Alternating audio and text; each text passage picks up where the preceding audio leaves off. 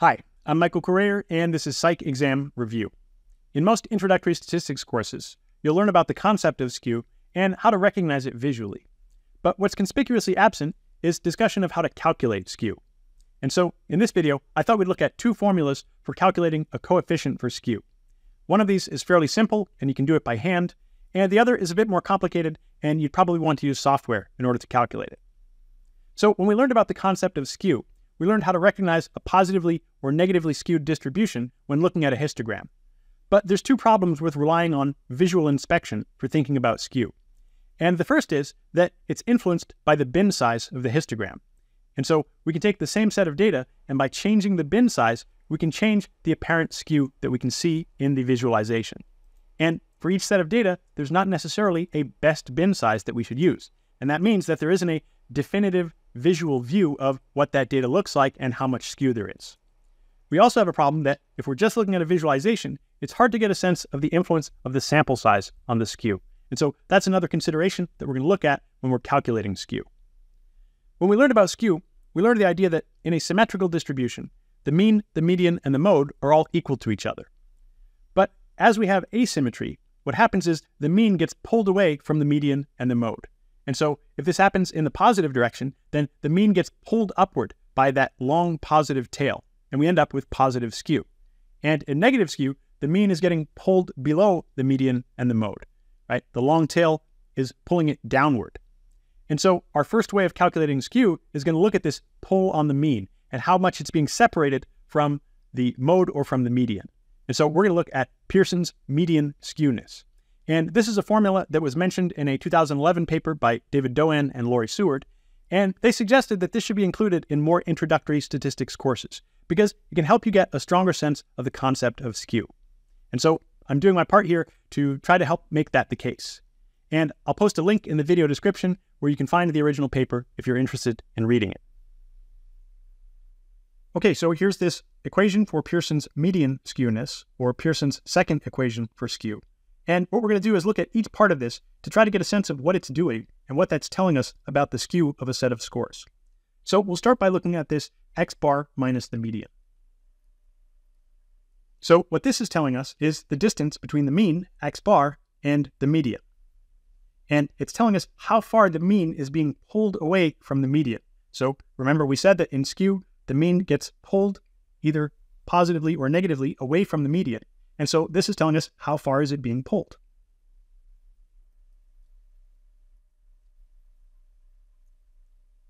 Now, if we have a symmetrical distribution, then the mean and the median will be equal to each other. And that means this part of the equation will give us an answer of zero.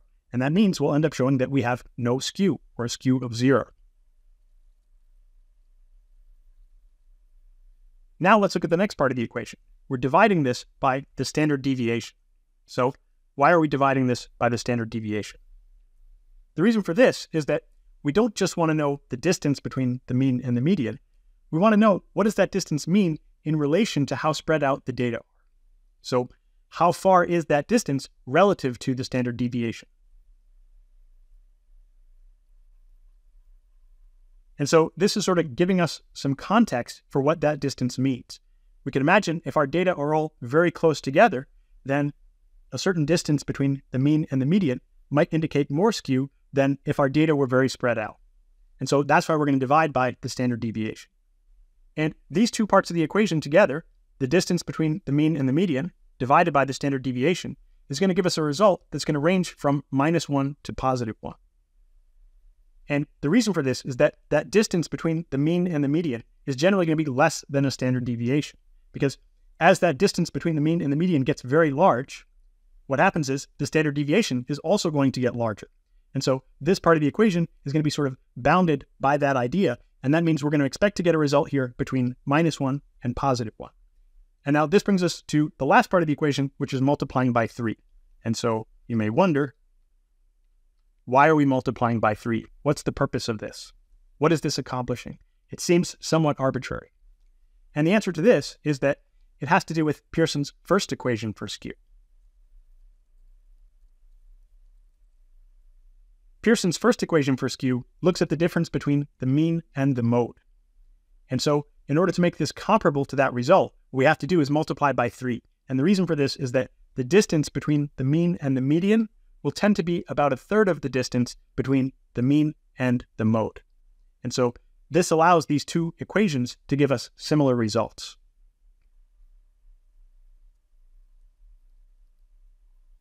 And so with all these parts together, we'll see that we'll get an overall result that's going to range between minus 3 and positive 3, where minus 3 or positive 3 is going to indicate very extreme skew, and scores that are closer to 0 are going to indicate less skew.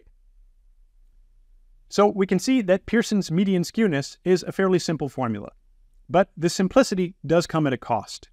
Because we're only looking at the summary statistics, the mean, the median, and the standard deviation, what this means is that this test will lack statistical power, and that means it's not able to differentiate well.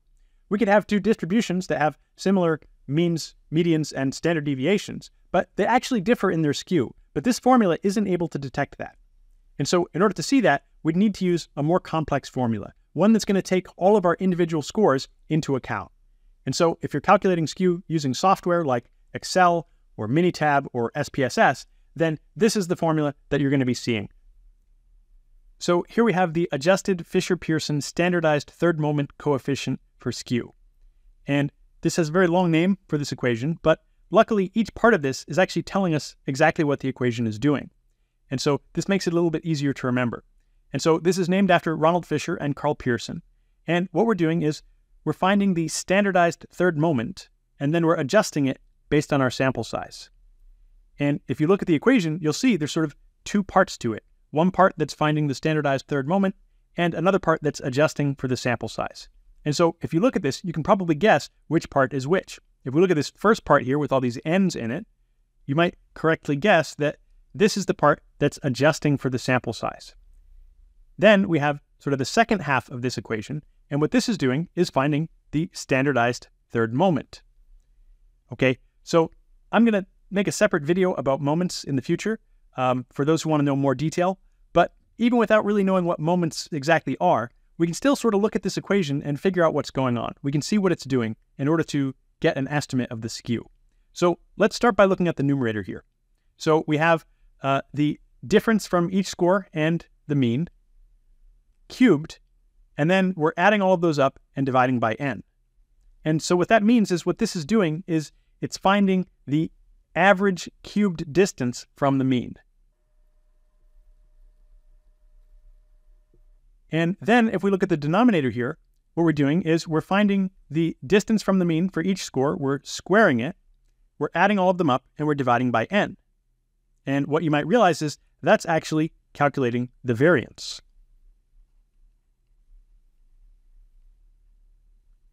And so we're taking the variance, and then we're taking the square root of it, which you might recognize as the standard deviation. The standard deviation is the square root of the variance. And then we're taking that to the third power. And so essentially what we have here is the cubed standard deviation. Now, one thing to note about this is that when we calculate the variance here, you'll notice that we're just dividing by n. So that means we're not making Bessel's correction here. Okay, and that's because we're going to be making the correction later when we do the sample size adjustment. So uh, just note, uh, you can't just drop in your corrected standard deviation cubed here. Uh, you have to calculate it without dividing by n minus 1, and instead dividing by n, which is the biased sample variance. Okay, so before we get to the sample size adjustment, let's think about what this cubing is doing. So we're finding these cubed distances from the mean. Now, when we learned about variance, we talked about squared distances from the mean. And what I said was the squaring accomplished two things. One is that it got rid of negatives because a negative value that's squared becomes a positive value. And we also said that it exaggerates larger distances from the mean. So in the case of variance, if you're two points away from the mean, that ends up adding four to the numerator. Or if you're 10 points away, you add 100. Well, now we're cubing. So we realize this, this is going to be even more exaggerated. So if you're two points away from the mean here, you're going to add eight to this numerator. And if you're 10 points away from the mean, you're going to add 1,000. So what we're doing is we're weighting these scores that are very far from the mean very strongly because those are going to play a strong role in the amount of skew. When you have a score that's very far from the mean, it's pulling in that direction. And we're trying to figure out the overall pull on the mean in either direction, positive or negative. And the other thing that we'll notice is when we're cubing, we bring back negatives, right? That's how we can tell if the pull is happening more in the positive direction or more in the negative direction. Because when you cube a negative number, you're going to get a negative result. And so that's what's going to allow us to see the direction of the skew. So now let's look at the first half where we have this sample size adjustment. What's going on here? If we look in the numerator, we have n times n minus 1. And we could say that that's n squared minus n. And then we're taking the square root of that. So that means we're going to end up with a value here that's close to the value of n, but it's always going to be a bit smaller than n. And then we have uh, the denominator where we have n minus 2. Now again, this is very close to the value of n, but it's always going to be a little bit smaller. And so what that means is these two parts together, as we get a larger and larger value of n, this section here is going to get closer and closer to a value of 1. Right? So we say that it approaches unity. That means it gets closer and closer to a value of 1, although it will never actually get there. Okay, so what does this mean in terms of thinking about our skew? Well, the adjustment that we're making, if we have a very small sample size, we need to make a larger adjustment. This is just like we saw with variance. If you have a small sample, then you're probably not capturing the variation that might exist in the population, right? Because you only have a small number of scores and you're unlikely to get some of the extreme values in that small sample.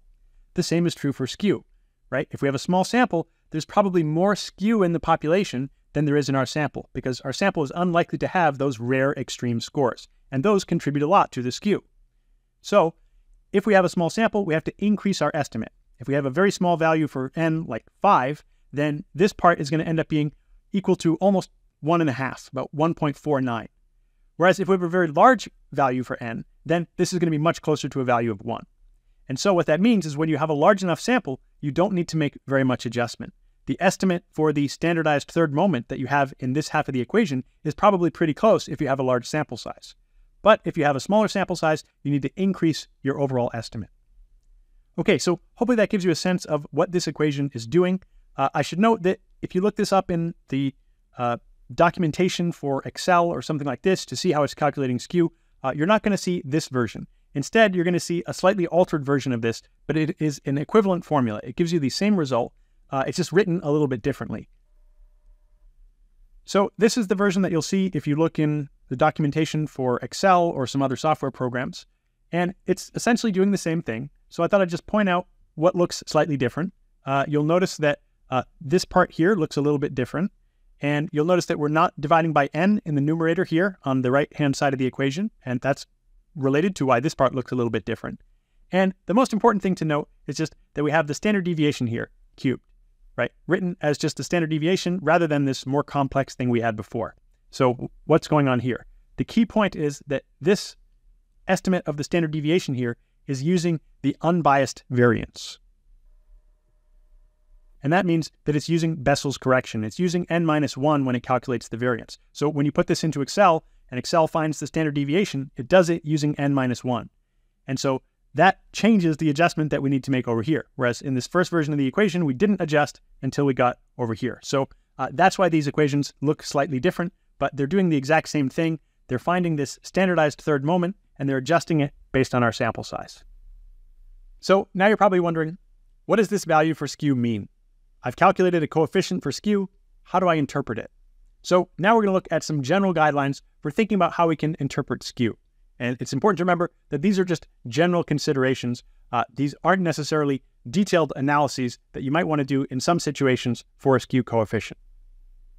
Once we've calculated our skew coefficient, it's going to tell us a few things. The first thing it will tell us is whether we have any skew or not. So if we get a result of zero, then that would mean that we have no skew. But if we get a positive or a negative result, then that's going to tell us the direction of skew. And then the value of the coefficient will tell us something about the strength of the skew. And so sort of a rough way of thinking about these coefficient values is that if we get a value between about minus 0.5 and positive 0.5, then we can say that means that our distribution is approximately symmetric. If we get a value between minus 1 and minus 0.5, or positive 0.5 and positive 1, then we might say that our distribution is moderately skewed. And if we get values that are below negative 1 or above positive 1, then we might say that our distribution is highly skewed. So this gives us a general sense of the strength of our skew, but there's a few caveats we want to keep in mind. And the first is that skew is just one aspect of normality.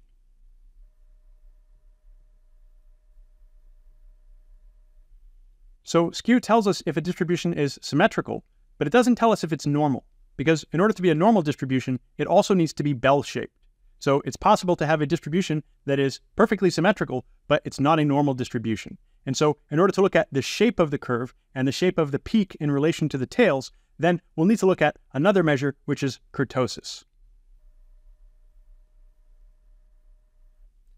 The other important caveat is that these are just rough guidelines, and to truly interpret a skew value, we actually have to do some inferential statistics and start thinking about the probability of getting different values. Because even if we have a perfectly normally distributed population, not every sample that we draw from that is going to have a skew of zero. And so we have to start thinking about the probability of getting a particular skew value from that population.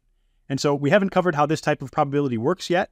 Uh, we are going to cover it in the future, mostly looking at other things like thinking about the probability of getting a particular mean for a sample, but we could apply exactly the same logic to the calculation of a skew coefficient. Although you'll find in most introductory textbooks, uh, there won't be a table for looking up the probability of different skew values based on different sample sizes. Uh, however, if you wanted to do that, uh, there would be ways of interpreting skew at that level of detail.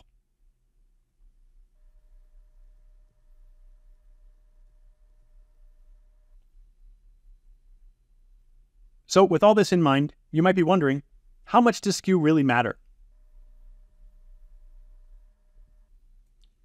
So you've collected some data, you've calculated a skew coefficient, maybe you see that your sample is highly skewed or moderately skewed, and you want to know how much that matters. And unfortunately, I can't give you a definitive answer to that. What I can say is that it's going to depend on the situation. It's going to depend on the type of data that you have, it's going to depend on your sample size, and it's going to depend on what kind of analyses you want to do. So rather than trying to go through the range of possible situations where skew may or may not matter, what we'll say is as we introduce some tests in the future, we'll just make a note of times where skew might be an important consideration. And that said, even if we have a highly skewed sample, we'll see that there's other ways of getting around this. So we might decide to remove some outliers from our data, we might trim the data, we might decide to transform the data so that there's less of an influence on the skew on some of our calculations. And so all these are ways of getting around a highly skewed sample and still being able to do some of the analyses that we want to do.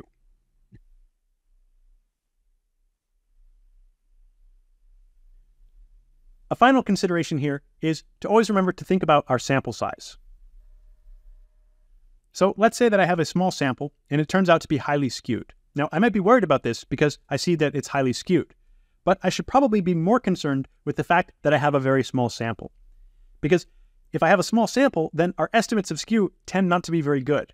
And so if I have a small sample and I don't find any evidence of skew, that's actually not all that reassuring because my assessment of skew isn't very good with a small sample. In contrast, if I have a very large sample and it turns out to be skewed, then that actually might not be much of a problem. And the reason it might not be much of a problem is because I have a very large sample size. And what we'll see is that's going to make up for some of the problems that skew might introduce. And so we have this strange situation where in order for a test for skew to be accurate, we need a large sample size. And once we have a very large sample size, then actually we don't really need the information that the test provides. Skew isn't necessarily all that relevant. And we're going to see this type of situation again for some other tests in the future. So that's two formulas for calculating skew. I hope that both of these made sense to you. Let me know in the comments if there were areas that were particularly helpful or if there's areas that you still have questions about, and I'll try my best to answer them. Make sure to like and subscribe, and don't forget to check out the hundreds of other psychology tutorials that I have on the channel. As always, thanks for watching.